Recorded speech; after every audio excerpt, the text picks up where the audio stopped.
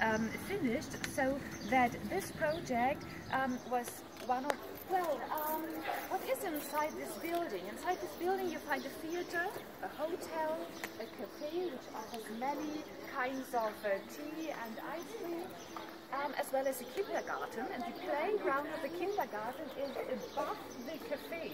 So the green uh, things you can see there belongs to the playground of the kindergarten.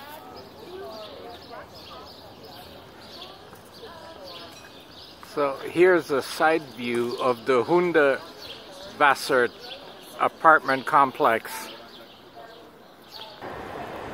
So this this looks like the front side of the Hundertwasser apartment complex.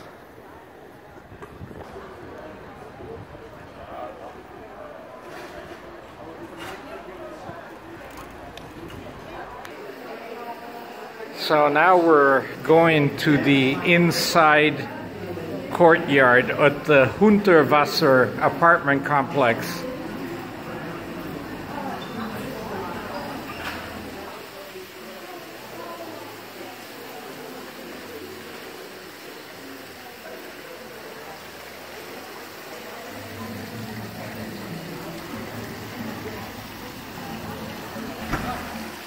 So this is an apartment building that has no corners and straight lines.